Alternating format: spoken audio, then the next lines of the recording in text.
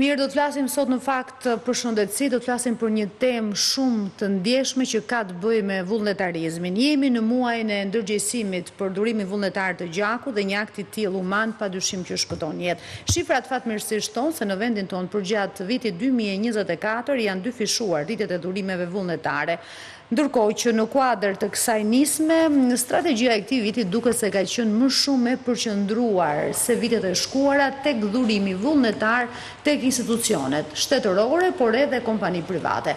Ne do të flasim në studio këtë mëngjes me doktoreshë Viola Shano, mjeke transfuziologe, shefe e mbledhjes dhe përpunimit të gjakut në Qendrën Kombëtare të Transfuzionit të Gjakut në Tiranë. Të falenderoj shumë doktoreshë që jeni këtë mëngjes me mua në Klan News. Jo hera e parë në fakt sepse kemi dashur edhe ne vetë si ekran edhe si studio që të japim sado pak ndërgjegjësim dhe informacion mbi këtë gjest shumë të rëndësishëm për disa njerëz shpesh herë nga përditshmëria se problematikat në këtë vend janë nga më të ndryshmet por edhe i anashkalojmë dashje pa dashje por harrojmë se është shumë e rëndësishme të dhurojmë gjak apo jo pse duhet të dhurojmë gjak ta nisim kështu. E një pyetje e thjeshtë po, me vlerë. Në radhë të parë ju falenderoj sepse gjithmonë si televizion keni gjetur hapësirë që ne të bëjmë thirrjen tonë të vazhdueshme sepse nevoja për gjak nuk është në një periudhë të caktuar të vitit, por është e përditshme dhe si e tillë e bën shumë të rëndësishëm dhe jetik gjestin e dhurimit të gjakut. Dhe misioni jonë është që të arrijmë dhurim qind për qind vullnetar, Por mund të them që jemi në shifra të mira, të kënaqshme, sepse aktualisht ne flasim kemi shtatëdhjetë e pesë për qind dhurime familjare dhe njëzet e pesë për qind dhurime vullnetare, por që ne dëshirojmë shumë që kjo e fundit të rritet, pasi gjaku vullnetar është gjaku më i sigurt. që mund të marrin pacientët tanë. Patjetër.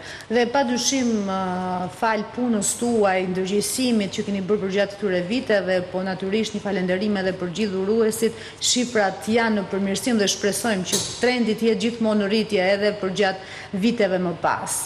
Megjithatë ju keni një strategji, të paktën sa i përket muajve të verës, sepse Kam përshtypjen që bie edhe ritmi i dhurimit të gjakut në mënyrë vullnetare apo jo. Si do të menaxhohet kjo periudhë, sepse është e rëndësishme, ndërkohë që nevojat janë besoj thuajse të njëjta për gjak përgjatë gjithë vitit? Është e vërtetë që nevojat janë të njëjta, pra kërkesa për gjak është ajo që është, por ne na bien në këtë periudhë të vitit që është pjesa e verës, pasi shumë universitete mbyllen, Pra, mbaron aktiviteti, studentët mbarojnë provimet edhe patjetër që pushojnë. Ritmi i jetës është më i ngadalshëm. Ritmi është më i ngadalshëm. Studentorë edhe punonjësit. Edhe punonjësit marrin lejën e zakonshme, kështu që ne në këtë periudhë të verës i kemi më të ulëta dhurimet. Ndërkohë që nevojat nga ana tjetër janë të larta. Janë të njëjtat. Nevojat për gjak janë të njëjtat. Fëmijët dhe pacientët me talasemi janë që kërkojnë gjak në mënyrë periodike dhe të vazhdueshme, pra çdo dy javë ata duhet patjetër që të marrin njësitë e gjakut dhe në këtë mënyrë edhe intensifikimi jonë është akoma më i lartë për sa i përket këtij grafiku që ne kemi marrë disa hapa konkretë, sidomos për muajin. Patjetër, për muajin korrik edhe gusht që e kemi akoma dhe më të vështirë. Kemi bërë një bashkëpunim me disa institucione që kanë edhe një numër punonjës të lartë, siç është Ministria e Mbrojtjes, siç është Drejtoria e Përgjithshme e Burgjeve dhe Drejtoria e Përgjithshme e Policisë. Pra, në këta tre aktorë janë përgjigjur pozitivisht dhe jo vetëm kaq, por ne kemi bërë dhe një grafik të detajuar me data të përcaktuara se ne Ku do jemi, çdo ditë të muajit. Patjetër, çështja e organizimit është e rëndësishme në gjithë këtë proces. Shumë e rëndësishme. Kemi parë në fakt edhe kryeministrin, zotin Rama, teksa ka dhuruar gjak, ishte para disa ditësh, le themi një moment që e kemi ndjekur edhe nëpërmjet ekranit, edhe gjithë mesazhi ndërgjegjësues që ai ka dhënë dhe mësova pastaj pak Më vonë se prej vitesh në fakt ai e bënte këtë gjest le të themi. Po, kjo është një gjë shumë e mirë sepse ai e ka bërë që kur ka punuar në Bashkinë e Tiranës dhe më pas e ka vijuar dhe e ka kthyer në traditë. Pra është një dhurues i rregullt dhe periodik. Ne këtë do të donim që edhe qytetarët të kenë këtë sensibilizim sepse nuk fillon misioni vetëm me një dhurim dhe të mbarojë aty. Në fakt aty aty duhet të fillojë. Duhet të ketë një vazhdimësi. Duhet të ketë një vazhdimësi. Për më tepër që do ta diskutojmë më pas në detaje pjesën e anës shëndetësore sepse ka frikra ende natyrisht nuk kanë gjithë informacionin apo atë sigurinë e duhur që nuk ju ndodh ndonjë gjë nëse do të dhuronin gjak. Megjithatë, për sa i përket pjesës së strategjisë që ju keni vendosur me institucionet shtetërore por jo vetëm, ne do të kemi në këto momente, nuk e di regjia më njofton nëse e kemi Jo, nuk e kemi ende. Në fakt do ta kemi më vonë në linjë të drejtpërdrejtë, do të kemi një përfaqësuese nga Drejtoria e Burgjeve, doktoreshë Jurma Kolën, për të na shpjeguar dhe ajo për çështjet e organizimit më tej. Megjithatë, si është pritur, le të themi, sepse e dihet që është vullnetar, le të themi, dhurimi i gjakut, si është pritur në tërësi nga institucionet, por edhe punonjësit vetë? Ne tashmë e kemi kthyer në traditë dhe do mundohemi që të kemi dy data, mhm, fikse në çdo institucion, një herë në 6 muaj, ashtu sikundërse ne rekomandojmë për të gjithë që të ndjehen edhe benefitet e dhurimit të gjakut, sepse nga një dhurim gjaku, jo vetëm që njerëzit shpëtojnë jetë, por i bëjnë shumë mirë dhe trupit të tyre. Dhe kjo është shumë e rëndësishme që ata ta dinë këtë gjë dhe të mos kenë frikë. Është normale që frika ekziston sepse mendojnë se çfarë do të ndodhë, se si do reagojë trupi i tyre, se mund të kenë dëgjuar shumë gjëra, por kjo është që ne i ftojmë të vijnë pasi ne kemi një staf të dedikuar për ta. Patjetër, do të flasin me mjekë specialistë, do të. Patjetër, bëhet një vizitë paraprake, nëse ata i plotësojnë kushtet e dhurimit apo jo, sepse nuk mjafton ndonjëherë vetëm dëshira, por mjaftojnë dhe kushtet shëndetësore në të cilat ai person ndodhet dhe nëse mund ta kryejë dhurimin e gjakut apo jo. Nga sektori privat, le të themi, ka pasur ndjeshmëri ndër vite, është rritur besoj edhe si trend. Edhe sektori privat, jemi shumë të kënaqur me reagimet e tyre, kemi pasur dhe jo vetëm kaq, por ata tashmë nëpërmjet platformës e-Albania, që kanë akses të gjithë, mund të aplikojnë aty dhe biznese kemi pasur që kanë shprehur këtë dëshirë, kanë aplikuar, kanë vendosur datën, orarin kur e kanë dashur dhe më pas stafi jonë, mjekësor i Qendrës Kombëtare të Transfuzionit të Gjakut, shkojmë në ambientet e tyre ku është dhe më komod për punonjësit. Qartë. Ndërkohë lidhemi në këto momente me doktoreshë Irma Kolën, mjeke, përfaqësuese në fakt nga Drejtoria e Përgjithshme e Burgjeve. Ju përshëndes doktoreshë. Faleminderit që je me mua në linjë të drejtpërdrejtë këtë mëngjes për të folur në fakt për kontributin që do të jepni ju si institucion mbi dhurimin vullnetar të gjakut. Si është pritur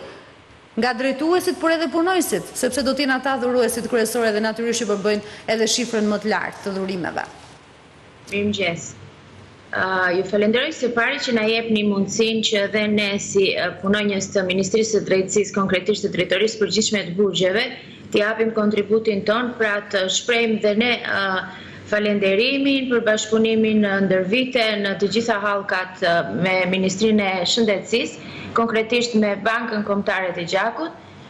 Tashmë është radha jonë që t'u ofrojmë neve ndihmën apo mundësinë e të smurve me talasemi për t'u dhuruar sado të kemi mundësi, sasi gjaku për të ndihmuar nevojat e tyre për të kuruar sëmundjen e tyre. Ky bashkëpunim është lidhur së fundmi me Bankën Kombëtare të Gjakut edhe është gjithëpërfshirës, pra gjithë drejtoria e burgjeve duke pasur të përfshira të gjitha institucionet e vendimeve penale në të gjithë Shqipërinë, të cilat janë njëzet e dy dhe në sasi totale punonjësish ne jemi goxha, jemi dy mijë e tetëqind dhe të gjithë ne jemi ofruar me dashamirësi, me humanizëm, jo vetëm stafi mjekësor, por të gjithë stafi dhe administrata dhe stafi policor, jemi ofruar që të dhurojmë gjak. Kjo është bërë me një plan shtrirje, ka filluar tashmë, së pari me institucionin e vendimeve penale Jordan Misja këtu në Tiranë, dhe gjatë muajit korrik do të shtrihet edhe në institucione të tjera të vendimeve penale, duke përfshirë ato të Ali Demit, të Spitalit të Burgut, edhe duke vazhduar më tej edhe nëpër rrethet e ndryshme, Korçë, Durrës e kështu me radhë. Po. Doktoreshë, besoj, duke qenë se ju po merreni vetë natyrisht personalisht në këtë projekt shumë të rëndësishëm, veçanërisht që është i shtrirë në këta muaj që e thamë edhe kur numri i dhurimeve në korrik dhe në gusht është më i ulët, ku qëndron le të themi problematika më e madhe për t'i bindur punonjësit, qytetarët, ndoshta është ende kjo frika se çfarë do të më ndodhë, ka vështirësi sepse në fund të fundit është vullnetare, nuk është e detyrueshme si proces. Vështirësia është si për çdo trajtim mjekësor që ne si popull e kemi të vështirë të përballemi. E kemi pak atë bestytninë, do ta quaja edhe frikën që shiko se po dhurova gjak do të më ndodhi diçka apo ku di unë. Ndërkohë që është e kundërta, kush dhuron gjak bëhet edhe më i shëndetshëm, sepse stimulon edhe më shumë palcën e kurrizit të prodhojë. Është shumë e shëndetshme, jo vetëm punonjësit tanë që ne I kemi bindur. Nuk është e nevojshme t'i bindim. Ata duke parë dhe duke dëgjuar dhe njëri tjetrin duke biseduar që o bobo, nuk ndodhi gjë, se dhuruam gjak, sigurisht që e përçojnë lajmin e mirë dhe jemi solidarizuar të gjithë dhe do ta bëjmë më së miri këtë. Madje do t'ju kërkonim një lidhje tjetër që të na falenderonit për këtë solidaritet. Patjetër. Duke qenë se është një nismë që nuk është vetëm në kryeqytet, është në gjithë Shqipërinë, le të themi gjeografikisht, si janë përgjigjur, pa dashur, le të themi, të dimë shumë seç duhet? E thatë vetë, janë gjëra shumë konfidenciale, po ne jemi në bindje e sipër dhe Jam shumë e sigurt që mbi nëntëdhjetë për qind e gjithë stafit tonë, punonjësit, administratë dhe mjekësi, do të kontribuojnë për një jetë më të shëndetshme për të sëmurët talasemikë. Qartë. Doktoresha, të falenderoj. Padyshim që do të kemi mundësi dhe herë të tjera të kemi komunikime të drejtpërdrejta mbi këtë temë, por jo vetëm. Doktoreshë Viola, ajo që më bëri përshtypje dhe le të themi është si një risi, diçka me benefite shumë të mira, është se Qendrës së gjakut i është dhënë dhe një autohemotekë lëvizëse çfarë risie ka sjellë konkretisht për të kuptuar kjo lidhur natyrisht edhe me numrin e dhuruesve të gjakut.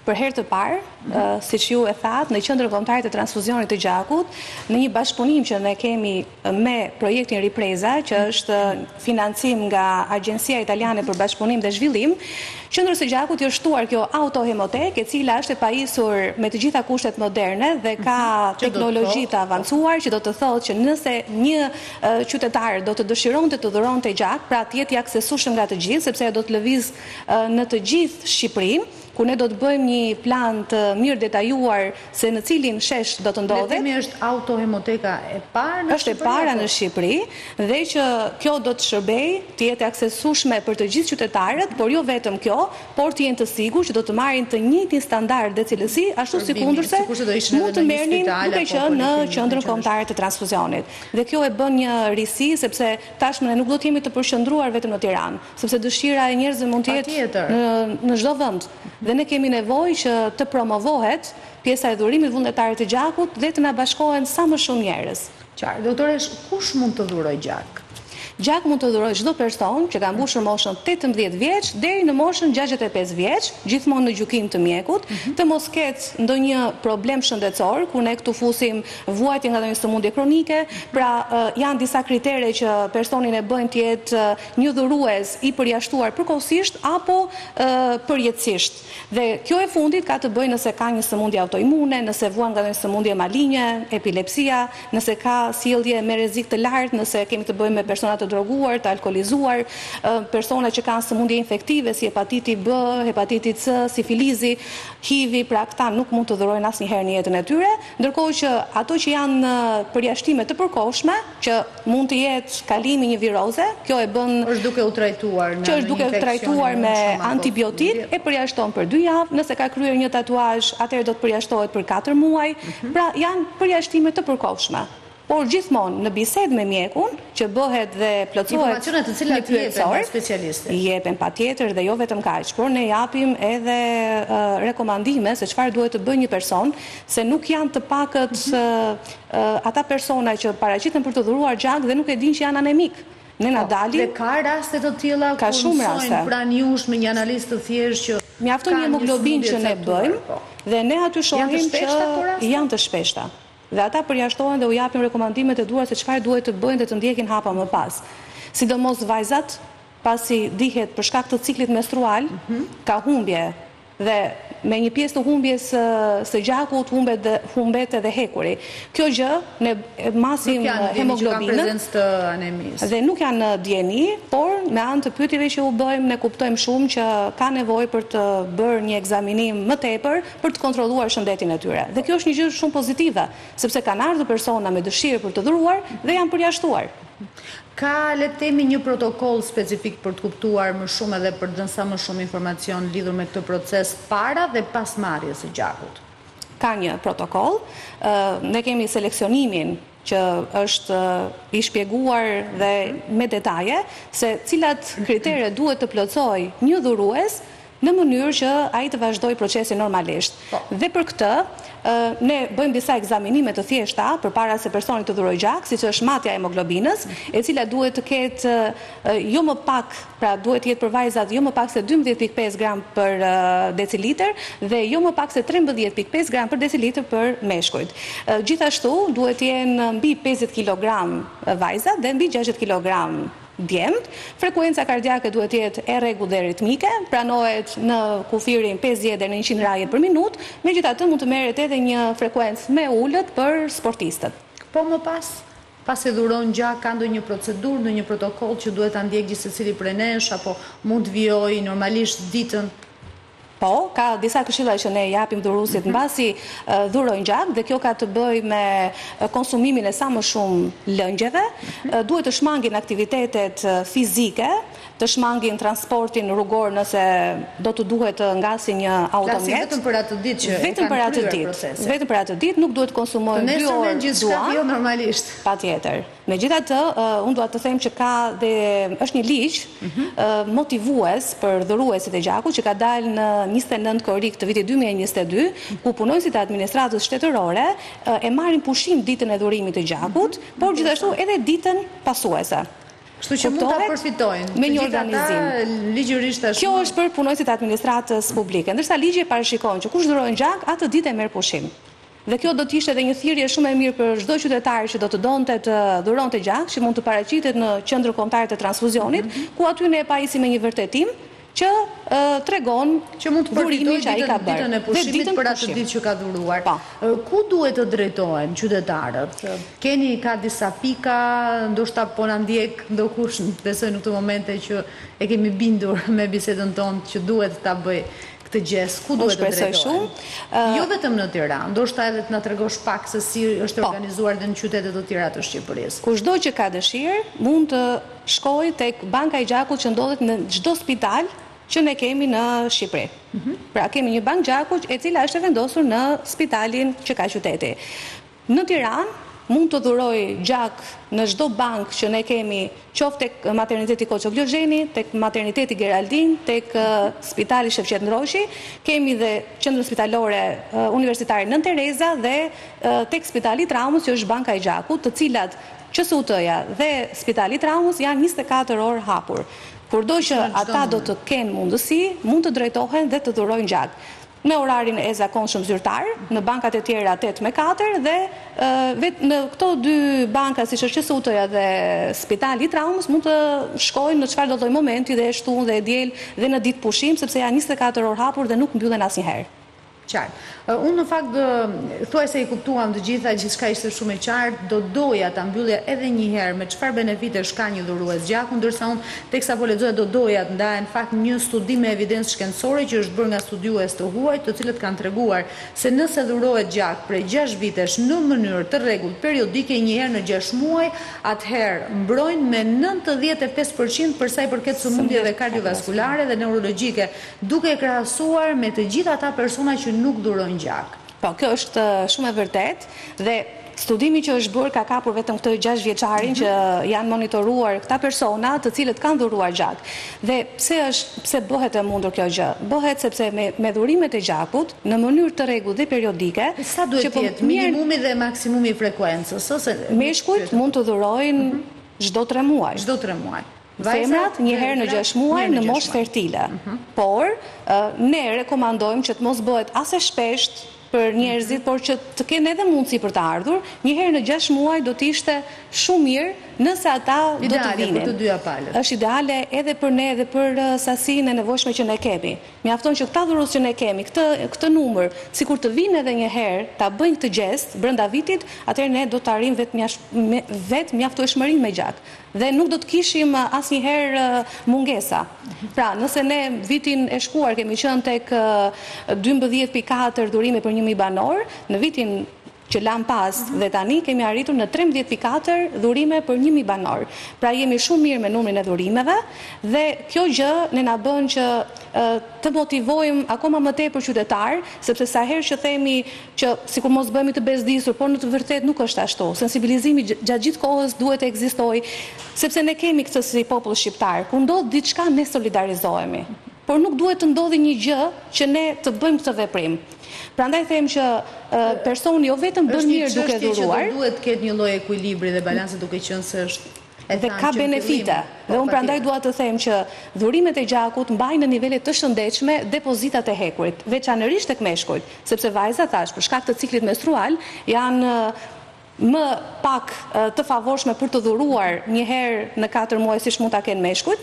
Se thamë, cikli nuk mund të jetë njësoj nga muaj në muaj, fluksi se sa zgjat, prandaj tek meshkujt u themi që ju bën veçanërisht shumë mirë juve që të vini të dhuroni një herë në gjashtë muaj dhe kjo gjë u bën që nivelet e hekurit të jenë të shëndetshëm, sepse këto depozitat e hekurit nëse kalojnë dhe është një numër më i madh, atëherë do të kalojnë në të kundërt për organizmin tonë. Dhe ky studim i këtë flet. Por gjithashtu rrit ndjeshmërinë e personave. Mhm. Fakti që ti mund të dhurosh gjak dhe janë bërë studime edhe në psikologjinë e shëndetit për këtë rast, është vënë re që mund të shtohet jeta me 4 vite për këta që dhurojnë krahasuar dhe që janë altruist, krahasuar me këta që dhurojnë por për një arsye tjetër që mund të jetë ekonomike.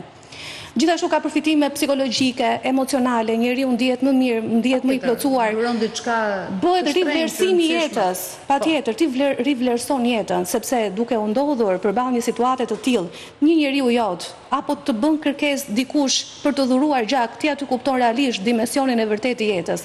Pra kthehesh në botën reale, që shiko, kjo është një gjë që Nëse nuk do ishte, atëherë do kishte pasoja fatale për jetën. Doktoreshë, duke qenë se ti ke vite që merresh me këtë proces, por jo vetëm, edhe je prezente në media nëpërmjet fushatave të ndërgjegjësimit dhe strategjive të ndryshme që janë ndërmarrë ndër vite, çfarë do të ndihmonte më shumë, le të themi, të jenë të jetë më më e ndjeshme, më e prekshme gjithçka, të paktën në tek qytetarët, që të jenë më aktivë edhe të jenë më shumë të përfshirë, çfarë mund të ndihmonte, si mund të ishte një formë, le të themi, ndoshta më e mirë, ndoshta edhe dëshmitë, nuk e di sa etike edhe brenda protokollit mund të jetë, po gjithsesi nuk e nuk e kam shumë të qartë, ndoshta edhe prezenca e disa vetë pacientëve ndonjëherë mund të nxiste edhe ose mund të japin më shumë besueshmëri për për nxisin për dhurim gjaku. Unë mund të them që Nëse shikojmë historinë e traditës së dhurimit të gjakut, ne vijmë nga një histori që ka qenë me pagesë. Dhe kjo nuk ka qenë e lehtë. Ka qenë prej pesëdhjetë vitesh me pagesë që kishim donatorët me një shifër të konsiderueshme, pra ishte tetëdhjetë për qind me pagesë dhe shumë pak që ishin familjarë për njerëzit e vet që mund të dhuronin jo të paguar. Kjo gjë ne na ka bërë që të punohet shumë, se nuk është kaq e lehtë të ndryshosh një kulturë, një mentalitet nga sot nesër. Besueshmërinë e njerëzve e dimë se si funksionon në jetën e përditshme duke parë situata të ndryshme, por nuk do doja që ne t'i përgjithësonim dhe t'i vendosim të gjithë në një emër i cili nuk mund ta meritonte kushdo që e bën. Po nuk përfaqësojnë të gjithë. Me sinqeritet që e bën me ndershmëri këtë punë. Në Shqipëri, pa diskutim. Për sa i përket misionit tonë, është human, është altruist, është një detyrë etike, morale, një detyrë qytetare që secili prej nesh duhet ta ndjejë dhe të bënte të njëjtën gjë që do donin ta bënin të tjerët për atë nëse do ndodhej në një situatë të tillë, sepse unë jam e bindur që kushdo nga qytetarët mund të jetë ndeshur në jetën e tij me një rast, qoftë me gjak që ia kërkon një i afërm, qoftë se mund t'ia kërkojë dikush për të dhuruar sepse ka një grup të veçantë dhe kjo gjë është që ne ajo që do të na ndihmonte është që ne të punojmë sa më shumë, se unë e them gjithmonë që dhuruesit vullnetarë ne i kemi vlerë kombëtare, janë një pasuri. Jo kushdo mund ta bëjë. Janë, ndoshta të gjithë e mendojnë edhe kur na dëgjojnë në ndonjë bisedë të tillë apo edhe ne vetë kur e dëgjojmë, por stepen për ta bërë. Shkuarja deri aty dhe për ta kryer, për ta konkretizuar këtë veprim është diçka tjetër me atë që mendojnë. Dhe unë dua që nëpërmjet këtij emisioni ata që na dëgjojnë, dua t'u them që ka disa benefite për shëndetin e tyre, pra përveç atyre që unë përmenda, por ne ofrojmë dhe një paketë të plotë analizash që këto personi që dhuron në mënyrë vullnetare i përfiton falas. dhe që përfshihen testime klinike, duke filluar nga një gjak komplet, duke u bërë përcaktimi i grupit të gjakut në sistemin AB zero dhe rhezus me të dyja metoda direkte dhe indirekte, duke bërë një kontroll të plotë të fenotipit të zgjeruar të sistemit të rhezus, si dhe duke kërkuar për antitrupa të parregullt anti-eritrocitarë. Pastaj kalojmë tek testime serologjike, që ne bëjmë testim për gjetjen e antitrupave dhe antigjenëve të të për sa i përket HIV-it. Bëjmë testim për antigjenë sipërfaqësorë të hepatitit B. Bëjmë testim për gjetjen e antitrupave të hepatitit C dhe antitrupa dhe antigjenë për sa i përket sifilizit. që janë një gamë e gjerë të sëmundjeve infektive, por kësaj i shtohet edhe testimi molekular nëpërmjet teknikës NAT, që bën të mundur pikërisht të shohim nëse ka infeksion në gjak për hepatitin B, C dhe HIV.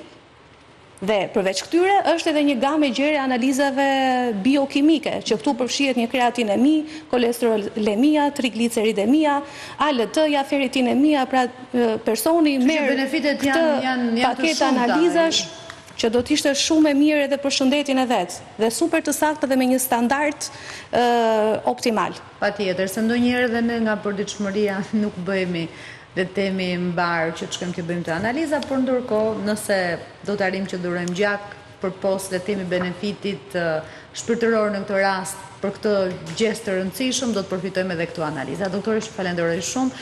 Gjithçka shumë e vlefshme. Kemi biseduar këtë mëngjes në Klan News. Uroj që të kemi nxitur sadopak gjithë ata që na kanë ndjekur në këto momente, jeni gjithmonë e mirëpritur në Klan News. Faleminderit.